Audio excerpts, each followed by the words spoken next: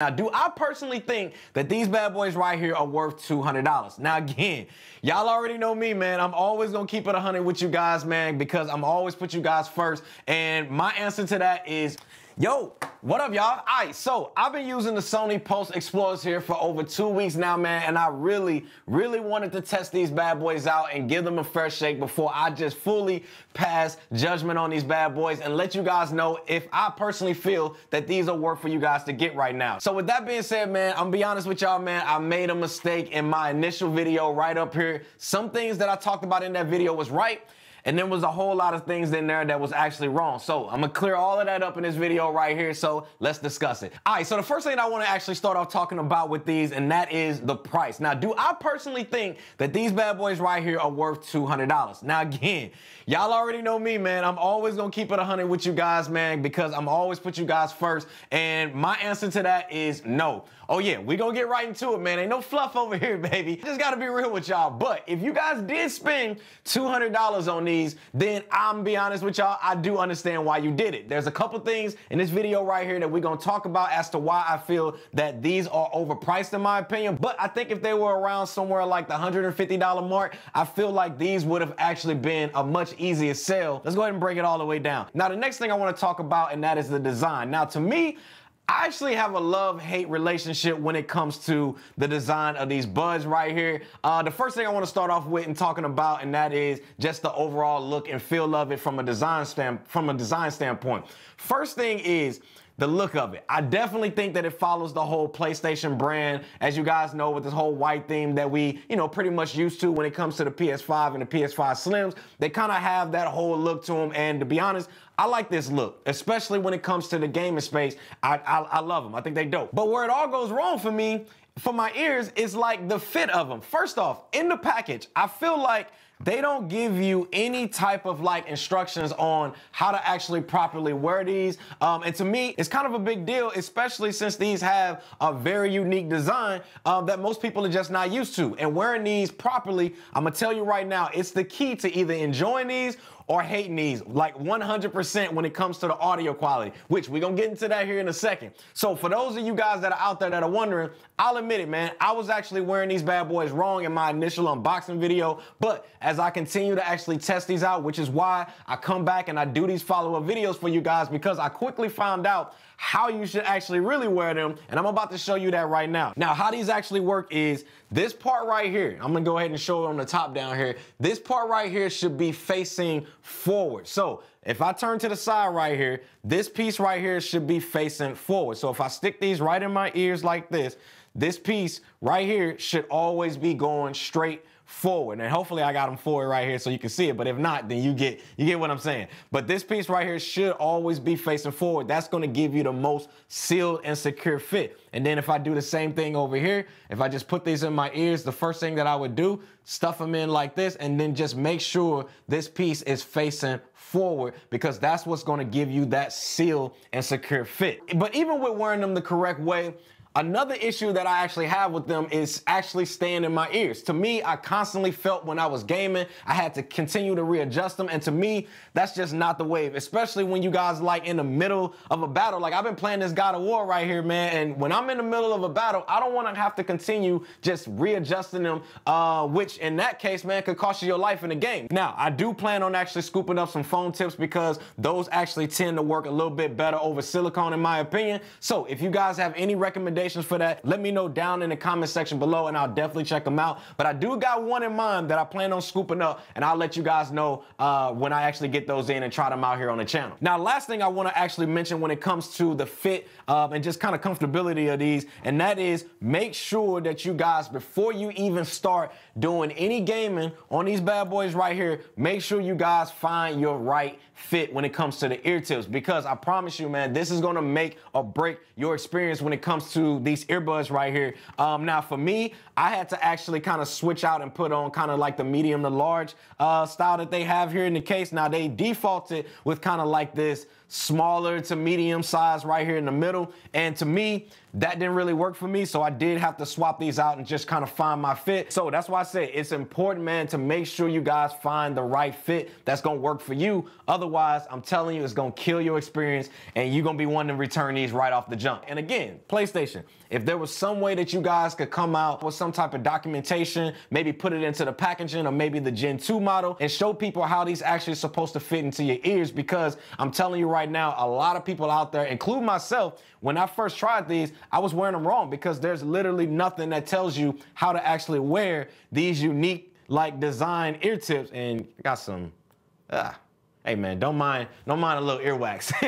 but yeah, there's nothing in the packaging that's gonna show you how to actually wear these. But lucky for y'all, you know what I mean? You got me, so I'm gonna show you how to wear them. now, speaking of trying things out, right? Let's go ahead and get into the audio quality, man, on why I actually feel that these shouldn't have been $200. For me, at first, I'll be honest with y'all, man, the audio was not good in my opinion. But a lot of that had to deal with the fact of what I just talked about, and that was wearing them wrong, and I wasn't actually able to hear the audio, how it was actually designed to be heard. But after really trying them out, really testing them out during this two-week time frame, and just playing multiple games on a which I'm gonna tell y'all right now, I am heavy. And I mean heavy on this God of War Valhalla right now, man. I'm telling you, this DLC is dope but it is hard as hell, man, because I keep dying and then I have to start all the way back over at the beginning in the gate. And, you know, I need help, y'all. but anyway, man, after my testing, I would say the audio quality is decent for sure. Now, are they better than something like my Sony InZone Buds? If you guys want to know that, I broke everything down in this video right up here that you can see up in that video right there. I highly, highly recommend you guys watch that video if you guys are stuck between which one that you guys should buy.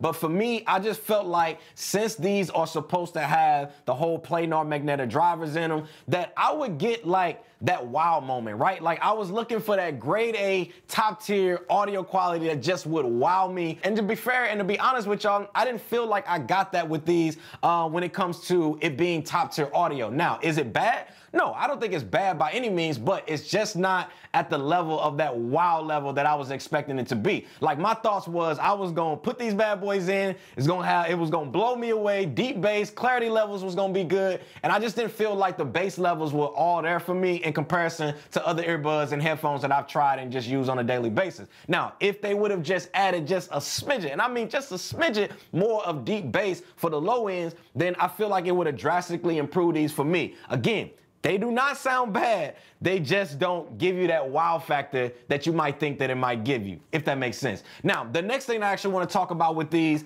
and that is the battery life, because you know we got to talk about it. Now, there's no ifs, ands, or buts about it, y'all. The battery life on these bad boys right here literally is only going to last you four and a half to five hours of gameplay. And trust me, it is capped at that mark. You ain't getting five and a half or nothing over. Now, I was hoping that it would at least get me somewhere around like, I would say like the six to eight hour mark. Now, is five hours bad? Well, to me, I honestly think that depends on what you guys deem is actually good. Now, if you only like to play your games for maybe four and a half to five hours, then I think the battery life for you might actually be fine for you. But if you're somebody that's like me and you like to play, you know, these games like this for a long time and kind of be on them for a little while, then I feel like the battery life kind of came up a little bit on the short side, especially since there's no real like standout features um, that would cause PlayStation to actually limit its battery life to only five hours. For example, I might actually understand it if these had like active noise cancellation in them. And the reason why I say this is because these are actually being sold as the sole usage purpose of the PlayStation Portal for your audio. And yeah, you can still use them for your PS5 and all of that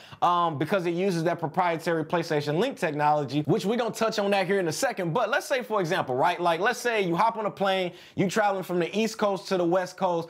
Chances are these bad boys right here, battery life is just not gonna last you that entire flight, which that that means now you got to try to find something to do with your time you know, on that plane, which is a problem for me, especially since I know for myself and maybe you guys out there, you travel a lot when it comes to your job or, you know, just leisure time or whatever you guys like to do. Again, is it bad? No, I don't think it's bad. I just would have expected more battery life out of these since the features in these are somewhat basic. Now, speaking of features, let's go ahead and dive into that here for a second, right? Now, there's not a lot of features in these when it comes to gaming earbuds. So you have your volume rockers, right? That's the first thing I want to kind of talk about. Now, if you guys look right here, you can see you got your volume rockers here on both sides of the earbuds.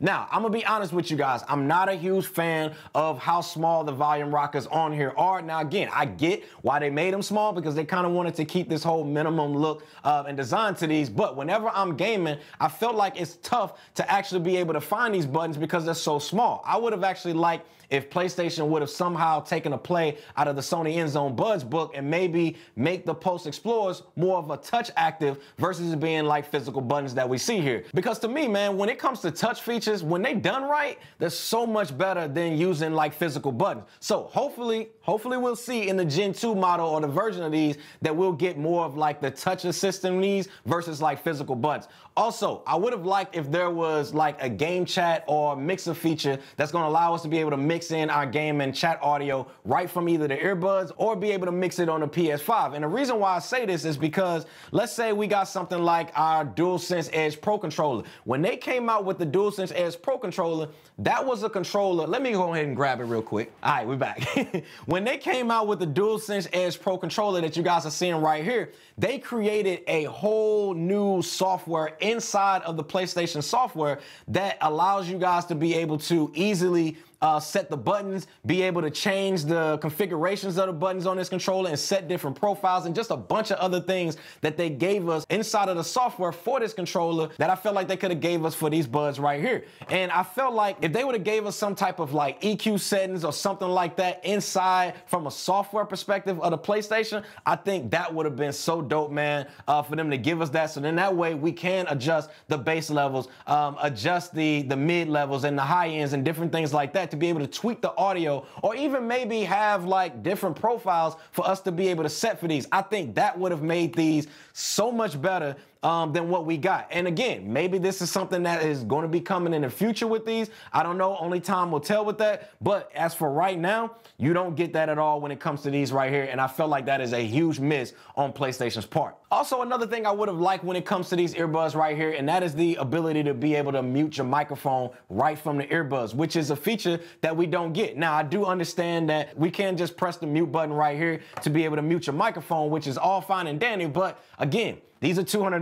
I would expect that to be a feature on the actual buzz in itself. Maybe if they would have included it to whereas you can press the uh, up as well as the down volume buttons at the same time and that would mute it, I feel like that would have been a much easier feature um, versus just not having it at all. Now, one thing I gotta do, and that is give credit where credit is due, and that is getting your battery percentage as well as the volume levels to pop up within the software on your PlayStation screen is dope to me when these are connected up. Another feature that I personally think is the shining star to these, man, and that is the ability to simultaneously connect these up to your PS5 as well as your smartphone at the exact same time. Meaning that I could either be playing my God of War, whatever game that I like to play, and pulling in that audio. And then let's say my phone decides to ring and I answer it. I can also pull in the call audio inside of the earbuds and it's gonna automatically mix that audio and it mixes it damn good too, man. To me, this is a feature that I feel is something that I like the most out of these buds right here. And that is mainly the reason why I continue to actually use these because I just love this feature so much. I can either listen to music on my phone while I'm also being able to hear my gameplay on my PS5 or my PlayStation Portal. But again, I gotta be fair, man. I had to take away another point with these and deduct $50 from the price because for $200, PlayStation not including some type of active noise cancellation in these was a huge letdown to me. I felt like for $200, I would have expected some type of uh, active noise cancellation because if I was to go out there and buy just any pair of $200 uh, earbuds, for the most part, I felt like they're going to include active noise cancellation in these, especially when, especially when you guys are a brand that is built on audio. Like you guys have a whole Sony audio division that you guys could easily tapped into, and I just felt like they kind of missed the mark on that uh, when it comes to these. But I do feel like they gained a point back for me when it comes to this AI feature that uses some type of like noise reduction to it when it comes to the microphone. So for example, let's say you guys are the one person in your crew who always opening that bag of chips or you wrestling with some type of food while you're talking with your friends and they can hear literally every single bag of Lay's and Cheeto chips that you guys have opened up and you crunching all in their ear and all of that. With these Pulse Explorers right here, it uses some type of AI noise reduction feature that's going to gonna just wipe out all of that noise and all of that background noise and it focuses on just your voice. And to me, I think that is the shining star feature when it comes to these earbuds right here. It is a really dope feature, man, and it works damn good. Now, the next thing we gotta talk about, y'all, and this is, again, another love-hate relationship with it, and that is the connectivity on whether it's easy to be able to connect this up to something like my PS5 or my PlayStation Portal. Now, in my opinion, this is another area that these shine the most, and that is how easy that PlayStation Link technology connects to my PlayStation here, or even my PlayStation Portal, or even a PC. However, the main issue that I'm having when it comes to connectivity that really don't make the PlayStation Link technology look that good, and that is PlayStation Link's connection range. I gotta call a spade a spade, y'all. The range on these is not that good at all. Like literally, y'all, if I got up right now and I walk clean off of this camera and walk right into the next room in my studio here, it will drop connection every single time. As far as the range go, I would say you're probably only getting somewhere around like 10 to 12 feet before these bad boys here is gonna start to cut out on you. When it comes to something like my InZone buzz, I can literally go all the way freaking outside and them buds will still be connected up. I'm telling you, y'all, those are goaded when it comes to connectivity. So Two things here. It's good when these are connected to devices, connecting them up, no problem at all. But if you decide to want to stay talking to your homeboys or whatever, and your crew, uh, you want to go grab some water outside in the next room, forget it, man. That signal gonna drop every single time. So overall, man, how do I feel about these, man? Do I feel that these are worth you guys spending your hard-earned money on it, your ducats, your shillings, your skrilla, and all of that, right? Or maybe you guys should just wait for another company to come out with something better. I'm gonna say this and break this down like this. If you guys are a PlayStation Portal gamer outside of your home, right? Say you like to play this bad boy here outside your home and you need that in-ear audio, then I think, I'm gonna be honest, I think these are solid and I think these I think these are good for that and you're gonna get decent audio. But if you guys only play your PlayStation Portal in-house, then I would say stick with the headphones that you guys may have and just plug in the 3.5 millimeter headphone jack right here at the bottom of them. And then, you know, just go on your way with that. Or you can wait for the Pulse Elites to drop next year and come back here and see, you know, just kind of what I think about those before you guys make a decision. However, depending on the fit in your ears and being comfortable, for me, these were not the most comfortable as, you know, I kind of had to continue like uh, readjusting them in order for them to be able to work. And for me, having to readjust them every single time and it kind of throws off the fit inside of your ears, which it's a whole nother thing. But if it was me, I would just, you know, just kind of roll with the pair of gaming headphones. So something like the Astro A40s that I use whenever I want to plug in right into the 3.5 millimeter headphone jack that's right underneath the portal here. But if you're somebody out there, man, and you mainly game in the house, then I would say, you know, just try maybe another pair of earbuds or gaming peripherals that you already like that can connect wirelessly to your PS5 and just pull in the audio from there. And I'll show you guys how to do that in this video that's right up here. But Let's say you guys are a PS5 or a PC gamer and you don't have the PlayStation Portal and you guys are looking to actually get these for it. Then for me, straight up, y'all, I would say no. I would not buy these or spend your money on them just yet. I would hold off on possibly maybe the Gen 2 version. Maybe they're gonna make some updates for this with active noise cancellation and different things like that. Mainly because I felt like these are not the most comfortable for fitting in my ears when it comes to the design. I felt like the audio on it is just okay. I didn't have that wow moment that I was expecting. And most importantly, it does not have active noise cancellation like I just mentioned um, in them for, you know, the $200 price tag that I would expect it to have. So based on those reasons for me, I'm gonna say it's tough for me to recommend these right now to you guys to spend your hard-earned money, your ducats, your shillings, and all of that on them right now for the price of $200. If it was like $150, then maybe I would say, yeah, you can go possibly get these a try and just kind of see how you like them. But for $200, I feel like these got to be a slam dunk in order for me to be able to recommend them to you guys. Now, I do have a video coming up here where I'm going to show you guys how to actually connect other Bluetooth devices up to your PlayStation Portal that don't have the PlayStation link. So definitely make sure you guys tune in for that video because you don't want to miss that one, man. So hopefully, man, you guys enjoyed this video and I helped you guys make a decision uh, or validate your purchase. And if I did, man, and you rock with the content and how I deliver it and how I bring it, then go ahead and hit that like button right now, man, and consider subbing to the channel as our goal next year, man, is to hit that 200K subscriber mark, man. And with y'all help, I know we can get there. See you guys in the next one. Squad, we out.